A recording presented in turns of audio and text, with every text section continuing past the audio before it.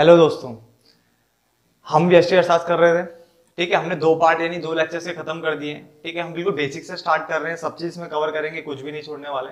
Done तो ये basic से हम स्टार्ट कर रहे थे, दो पार्ट खत्म हो गए थे, आज तीसरा पार्ट करेंगे। छोटे छोटे पार्ट्स में इसलिए डिवाइड हो रहा है क्योंकि छोटे पार्ट्स बनाने के बाद जल्दी समझ में आता है। ठीक है, एक ही वीडियो में काफ़ी लंबे टाइम तक हमें रहना नहीं पड़ता। काफ़ी आसान भाषा में समझाया जाएगा। हाँ बट अगर कोई हिंदी लिखते हुए अगर कोई गलती हो जाती है तो उसके लिए मैं पहले ही माफ़ी माँगता हूँ आपसे। ठीक है क्योंकि हो सकता है कि कुछ लिखने में गलती हो जाए। डन बट कॉन्सेप्ट सारे क्लियर है। ठीक है, बिल्कुल अच्छे से समझाया जाएगा। मात्रा वात्रा में अगर कोई गलती हो जाए तो प्लीज़ उसके लिए माफ़ी चाहूँगा। अब देखो व्यष्टि अर्थशास्त्र के लेक्चर नंबर थर्ड में हम बात करते हैं। हम पढ़ने वाले केंद्रीय समस्या किसे कहते हैं? देखो, सबसे ज़्यादा जैसे कहना वेरी इंपॉर्टेंट अपने आप में है ये। ठीक है, केंद्रीय समस्या किसे कहते हैं? ये आपका बहुत जगह पूछा जाता है। और ये कितने प्रकार की होती है? तो स्टार्ट करते हैं, अगर ध्यान से देखें इसको तो हमने कहा केंद्रीय समस्या, यानी प्रत्येक अर्थव्यवस्था के पास, यानी हर एक जो अर्थव्यवस्था है, ठीक है, उसके पास जो है संसाधन, वो कैसी है? सीमित मात्रा में। देखो, बहुत हमें बचपन से पढ़ता है कि जो संसाधन है, वो क्या है? सीमित मात्रा में और जो मानवीय आवश्यकताएँ हैं, वो क्या असीमित है। तो वही लिखा हुआ है, प्रत्येक अर्थव्यवस्था के पास संसाधन जो है, वो सीमित मात्रा में होते हैं, परंतु उसमें रहने वाले मानवीय समाज की आवश्यकताएँ क्या होती है? असीमित होती है। क्लियर है? तो प्रत्येक अर्थव्यवस्था के पास क्या संसाधन सीमित मात्रा में है, परंतु उसमें रहने वाले मानवीय आवश्यकताएँ जो होती है, यानी मानवीय समाज की आवश्यकताएँ क्या होती है? असीमित होती है। यहाँ तो किसी को दिक्कत नहीं।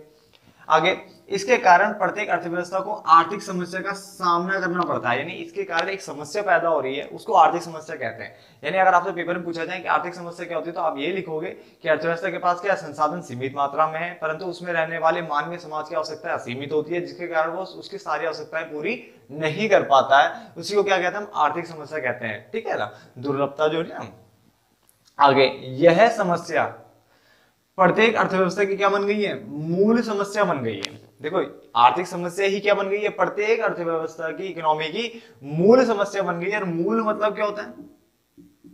केंद्र। मूल मतलब क्या होता है? केंद्र। यानी यही जो है ना, आर्थिक समस्या, वो हर किसी अर्थव्यवस्था की केंद्र की समस्या बन गई है। और इसलिए इसको क्या कहते हैं? इसलिए आर्थिक समस्या को ही केंद्रीय समस्या कहा जाता है। आपसे पूछा जाएगा, क्या आर्थिक समस्या को केंद्र समस्या कहा जाता है? बिल्कुल हाँ यही इसकी जड़ है। तो एक बार दोबारा रिपीट कर लेते हैं। देखो, बिल्कुल आराम से मैं यहीं पे सब कुछ समझाने वाला हूँ। आपको घर पे ना दोबारा पढ़ने की ज़रूरत भी नहीं पड़ेगी। ठीक है, एक बार हल्का सा आप देखोगे तो आपको अच्छे से याद आ जाएगा कि आपने क्या पढ़ा हुआ था। प्रत्येक अर्थव्यवस्था के पास संसाधन सीमित मात्रा में, परंतु उसमें रहने वाले मानवीय आवश्यकताएँ क्या होती है? असीमित होती है। इसके कारण अर्थव्यवस्था को आर्थिक समस्या का सामना करना पड़ता है। यह आर्थिक समस्या अब मूल समस्या बन गई है। मूल मतलब केंद्रीय समस्या बन गई है, इसलिए आर्थिक समस्या को केंद्रीय समस्या कहते हैं। यहाँ तक सबको क्लियर हो गया। उसके बाद आर्थिक यानी जो हमारी केंद्रीय समस्या वो कितने प्रकार की है? तीन प्रकार की है। पहला, क्या उत्पादन किया जाए? दूसरा, कैसे उत्पादन किया जाए? और तीसरा, किसके लिए उत्पादन किया जाए? यानी तीनों पढ़ने तीनों में से एक पूछ लिया जाता है, ठीक है? क्या उत्पादन किया जाए? सबसे पहले हम उसको पढ़ेंगे। यानी आपने क्या उगाना है, ये तो बताओ। उसको कैसे करना है? यानी टेक्निक कौन सा तरीके से आप उगाओगे? यानी इसमें तकनीक की बात करोगे, उसमें क्या उगाओगे, वो डिसाइड करना है। ठीक है, और कितनी मात्रा में उगाओगे वो डिसाइड करना है। क्या उगाओगे और कितनी मात्रा में उगाओगे वो तो यहाँ डिसाइड होगा। कैसे यानी किस तरीके से आप उसे उगाओगे, तकनीक बताओ तो वो यहाँ पे होगा। और ये बताओ तुम उगा भी रहे हो तो किसके लिए उगा रहे हो? तो वो यहाँ पे बताओगे। तो तीनों हम पढ़ने वाले हैं। स्टार्ट करते हैं पहले वाले से। और प्लीज़ अगर आपको ये वीडियो पसंद आ रही है तो प्लीज़ अपने दोस्तों को भी शेयर करो। और please like share and subscribe करना तो ना भूलें। ठीक है? तो स्टार्ट करते हैं सबसे पहले। क्या उत्पादन किया जाए? तो आप सामने देखोगे। क्या उत्पादन किया जाए, पढ़ लेते हैं। काफ़ी देखो, काफ़ी अच्छा कंटेंट आपको मिल जाएगा। क्योंकि देखो, इससे क्या होगा ना, देखो बीकॉम बीए लेवल पे क्या होता है कि काफ़ी अच्छा खासा लिखना भी पड़ता है, ठीक है? इवन अगर ट्वेल्थ या इलेवन क्लास जहाँ पे भी आप, जिसमें, जिसके पास भी ये व्यष्टि अर्थशास्त्र है, उसको भी अगर मान लो चार पाँच नंबर में लिखने के लिए आता है कि क्या उत्पादन किया जाए को समझाओ तो आप अच्छे से समझा सकते हो। देखो, कितना आसान है।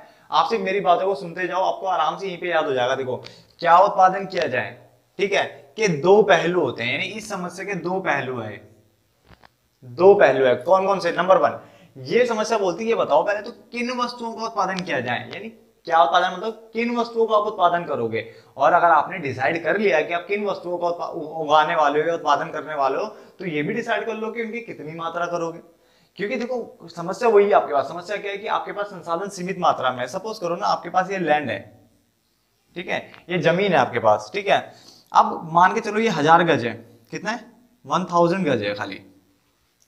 अब ये हज़ार गज की जो ज़मीन आपके पास पड़ी है यहाँ पर डाले तो कहीं पे बनवा लो, ठीक है? हज़ार गज की ज़मीन पड़ी है तो इसमें देखो ये सीमित संसाधन हो गया। ऊपर से जो इसमें जो आप जिससे इसमें काम करोगे, वो भी आपके लिमिटेड होंगे। तो अब आपको क्या करना है, इस सीमित संसाधन में आपको कुछ चीज़ें उगानी देखो, आपके मन में तो बहुत सारी चीज़ें हैं। आपके मन में बहुत अनेकों वस्तु हैं कि आप उगाना चाहते हो। बट सारे तो नहीं उगा सकते ना। आपको कुछ को सेलेक्ट करना पड़ेगा, इसलिए हम बोलते हैं कि पहले ये बताओ, किन वस्तुओं का आप उगाओगे? डिसाइड कर लो। मन में तो बतेरी चीज़ें सारी हासिल नहीं होती है। तो समझ किन वस्तु का उत्पादन किया जाए? पहले उसको बताओ। उसके बाद, कितनी मात्रा में करोगे? ये भी बता दो। तो दो पहलू हो गए, बात समझ में आ गई दोनों। ये दोनों में तो कोई दिक्कत नहीं किसी को भी।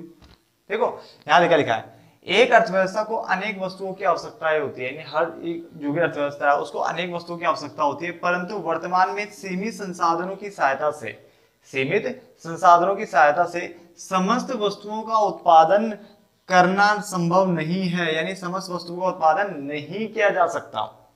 क्लियर हो गया? एक अर्थव्यवस्था को अनेक वस्तुओं की आवश्यकता होती है, परंतु हमारे पास संसाधन सीमित है, इसलिए हम हर वस्तु का उत्पादन तो भाई नहीं कर सकते। इसलिए अर्थव्यवस्था को यह चुनाव करना पड़ता है, चुनाव मतलब यह चयन करना पड़ता है, ठीक है, कि वह किन वस्तुओं का चुनाव करे, यानी किन वस्तुओं को वो उत्पादन करे और किसको वो छोड़े, ये बताओ पहले तो।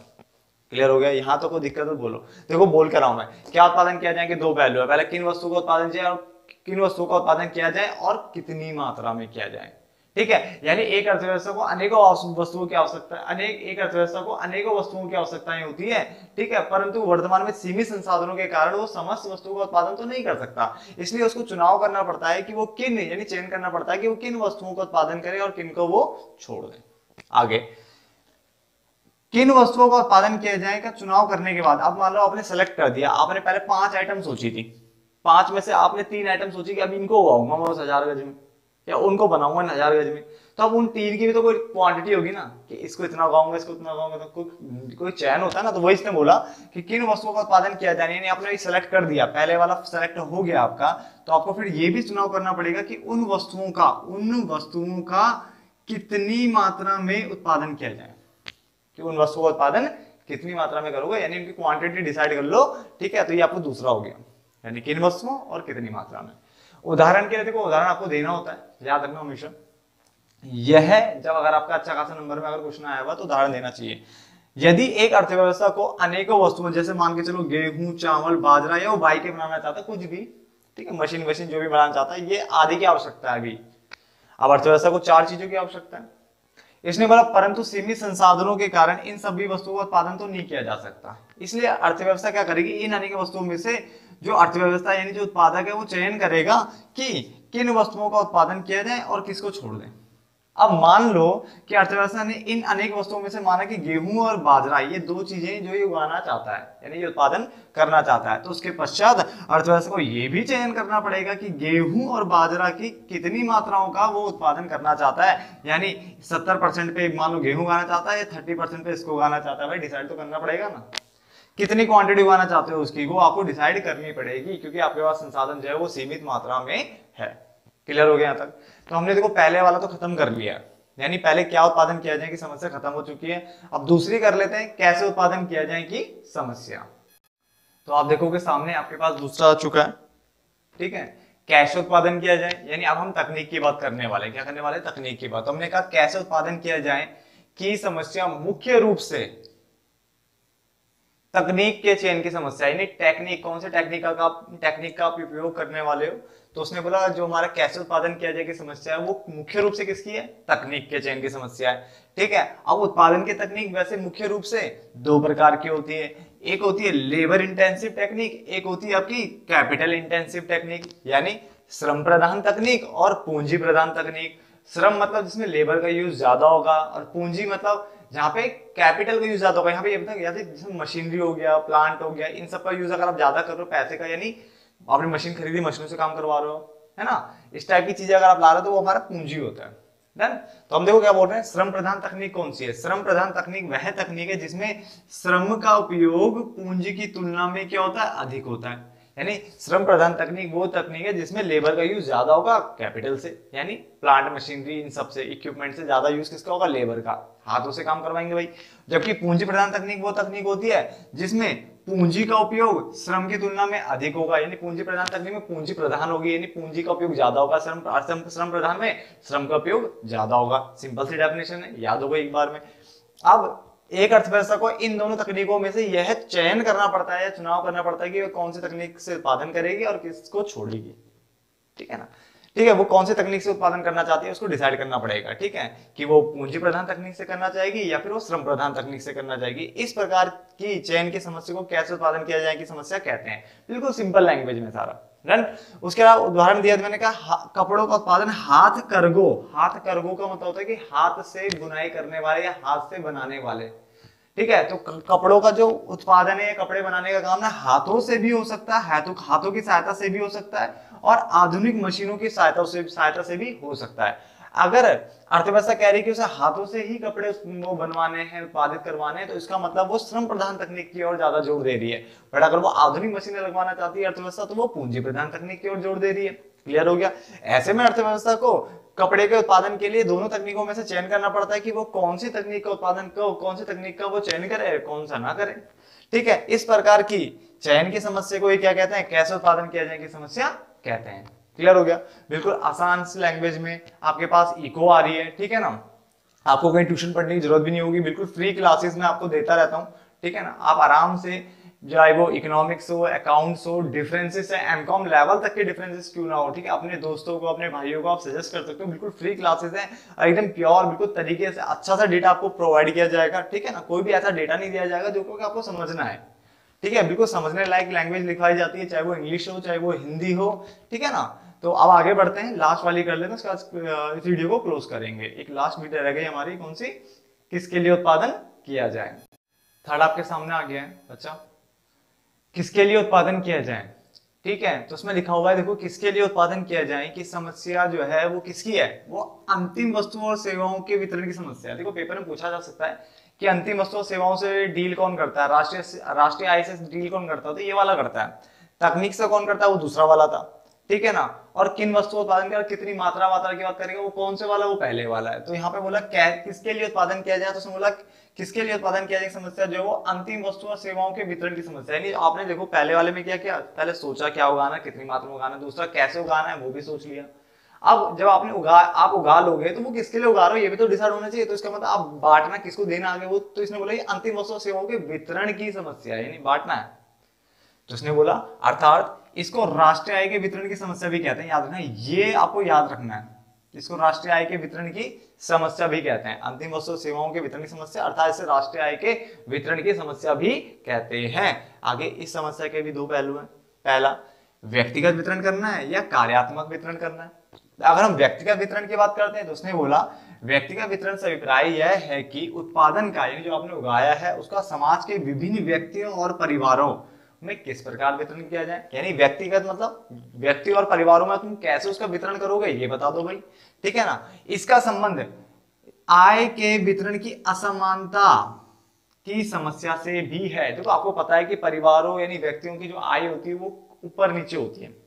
मेरी आय कुछ और होगी, आपकी आय कुछ और होगी, किसी और की आय कुछ और होगी, ठीक है? तो आय में असमानता पाई जाती है तो उसने बोला कि व्यक्ति अभी यही तो होगा ना, देखो यहाँ पे हम व्यक्तियों की बात कर रहे हैं, परिवारों की बात कर रहे हैं, और यहाँ पे हम संसाधनों की बात करेंगे एक तरीके से तो संसाधनों में थोड़ा ना आय का वितरण की बात करेंगे, हम यहाँ पे बात करेंगे ना, आय तो ये कमाते तो ये तो हम ऐसे बोलेंगे व्यक्ति का वितरण से अभिप्राय, उत्पादन का समाज के विभिन्न वर्गों यानी कौन कौन से व्यक्तियों और परिवारों में किस प्रकार से वितरण किया जाए, ठीक है, इसका संबंध आय की असमानता से होता है। क्लियर है? बट जब मैं कार्यात्मक बोलूँगा तो कार्यात्मक वितरण से अभिप्राय यह है कि उत्पादन का समाज की वो ये उत्पादन का विभिन्न संसाधनों में अब संसाधन कौन से? भूमि, पूंजी, श्रम और उद्यम। भूमि, पूंजी, श्रम और उद्यम, ये आपको याद रखना है। ठीक है? इनमें उत्पादन का बंटवारा कैसे करोगे? और इसका संबंध आय के वितरण की असमानता से नहीं है। देखो, लिखा हुआ नहीं है। डन तो देखो क्या बोला हमने? कैसे उत्पादन किया जाए की समस्या जो है? अंतिम वस्तु सीमाओं के वितरण की समस्या इसको राष्ट्रीय आय के वितरण की समस्या भी कहते हैं। क्लियर राष्ट्रीय आय के वितरण की समस्या भी कहते हैं। दो पहलू है, व्यक्तिगत या कार्यात्मक। कि जो आपने उगाया है, यानी उत्पादन का समाज के विभिन्न व्यक्तियों परिवारों में कैसे बंटवारा करोगे, इसका राष्ट्रीय आय के असमानता से भी, समस्या से भी संबंध होता है। जबकि कार्यात्मक बोलूँगा तो उत्पादन के विभिन्न संसाधनों, जैसे भूमि, पूंजी, श्रम, उद्यम है, उसमें उत्पादन का बंटवारा कैसे करोगे? यानी ये भी इनको भी तो चाहिए कुछ। तो कैसे इनमें बंटवारा करोगे? ठीक है, और इसका संबंध? क्या बोला? राष्ट्रीय आय के वितरण की समस्या से नहीं है। अब जरा ध्यान से देख लेते हैं यहाँ पे। इसका मतलब क्या बोल रहा हूँ मैं? ये बोल रहा हूँ कि अगर आपसे बोलेगा कोई कि उत्पादन के संसाधन, यहाँ पे बोल रहा है, या मैं बोलू कारक की बात करूँ factor of production factor of production यानी मैं कारकों की अगर बात करूँ तो चार कारक हो गए भूमि, पूंजी, श्रम और उद्यम। ठीक है, ये चार कारक होते हैं। ठीक है, अब ये अगर बोले कोई बोलेगा फैक्टर ऑफ़ प्रोडक्शन यानी उत्पादन के कारक। ठीक है, जो उत्पादन करने वाले कारक होते हैं ये चार हो गए। अब कोई बोलेगा फैक्टर इनकम क्या होती है बताओ। फैक्टर इनकम मतलब कारक आय। इनको कौन कौन सी आय मिलती है? अगर आपसे उत्पादन के संसाधन यानी फैक्टर ऑफ़ प्रोडक्शन पूछेगा तो ये चार नाम आते हैं। बट कई बार पेपर में पूछता है फैक्टर इनकम यानी फैक्टर आय, यानी कारक आय। वो बताओ ना, ये कारक लागत देनी जो उनको देनी पड़ती है, वो बताओ ना। तो उसका मतलब ये होता है कि भूमि को क्या मिलता है बच्चे इसके बदले? भूमि लेगा बच्चे उसके बदले आपका किराया। यानी लगान टाइप का वो ये लेता है, भूमि। ठीक है ना? पूंजी क्या लेता बच्चा? ठीक है? पूंजी लेता आपका ब्याज। क्या लेता बच्चा? ब्याज। यानी अगर लैंड देखे तो लैंड लेगा आपका लेगा रेंट कैपिटल लेगा आपका बच्चा इंटरेस्ट अगर पैसा लगाओगे कहीं तो इंटरेस्ट तो मिलेगा। ठीक है ना? श्रम को क्या देना पड़ता है बच्चा? इसको देना पड़ता है आपको वेजिस ठीक है ना? जिसको हम हिंदी में क्या कहते हैं? हिंदी में श्रम को क्या कहते हैं? श्रम मैं इंग्लिश में लिख देता हूँ बच्चा। वेजिस लिख दिया मैंने। ठीक है ना? वेजिस सैलरी टाइप ये आपको देना पड़ता है श्रम को। ठीक है? लेबर को क्या दोगे? वेजिस दोगे आप। ठीक है? और उद्यम को क्या दोगे बच्चा? उद्यम मतलब होता है मेन बंदा। जो मेन है, उसको क्या दोगे बच्चा? लाभ, यानी प्रॉफिट दोगे। क्या दोगे? लाभ दोगे। ठीक है ना? तो आपको याद रखना, उत्पादन के संसाधन, यानी जो उत्पादन के जो कारक है फैक्टर प्रोडक्शन वो भूमि, पूंजी, श्रम, उद्यम, यानी चार होते हैं। लैंड लेबर कैपिटल एंटरप्रेन्योरशिप ठीक है, जबकि कारक आय बोलूँगा, यानी फैक्टर ऑफ़ फैक्टर इनकम बोलूँगा तो जो लैंड उसके बदले क्या मिलेगा? रेंट यानी किराया, लगान, ठीक है ना? पूंजी के बदले ब्याज, श्रम को क्या मिलेगी? वेजिस ठीक है ना? वेजिस का हिंदी मीनिंग प्लीज़ आप देख लेना, ठीक है, एक बार। और उद्यम को अगर हम बात करें तो क्या मिलेगा? लाभ। ठीक है, आपको क्लियर हो गया। डन उद्यम मतलब मेन बंदा। तो देखो वाला पार्ट यहीं पे खत्म करते हैं। काफ़ी हमने थोड़ा सा लंबा बना दिया पार्ट ये। कोई दिक्कत नहीं बट आपको अच्छे से समझ में आ गया और प्लीज़ अगर देखो अगर आपको समझ में आया तो एक लाइक तो बनता है। डन काफ़ी मेहनत करनी पड़ती है वीडियोज़ बनाने में। ठीक है तो तब तक मिले तब तक के लिए धन्यवाद दोस्तों। मिलते हैं नेक्स्ट पार्ट में।